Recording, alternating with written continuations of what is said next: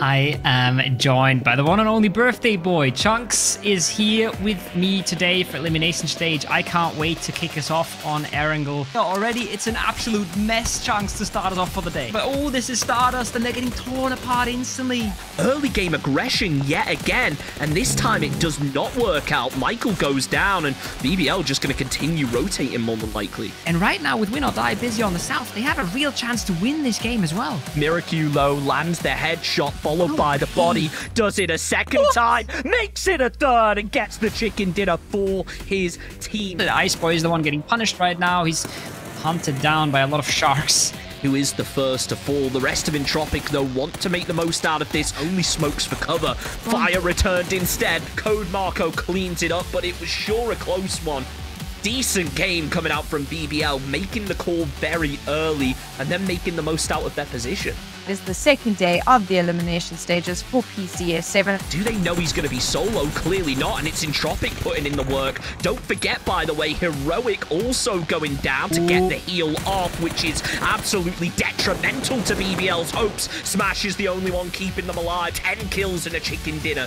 Hakatori throws out a nade. It looks close to Mad, but it's a little bit short. Ruin eliminates Rinlock, and it's all down to Hakatori as the spray comes through. Not going to land. Brinalock up over the top, using that Scar to find the opening. Item goes down. It's only a solo left. They're all out of nades, though. Slightly the last chance qualifier is where they're ending up. Stardust and BBL, though, working together to tear apart Pink Venom. Runs behind the tree, goes down prone, denies the points. Heroic get the second, but his Pink Pony with a 10-kill chicken dinner. Very impressive for them.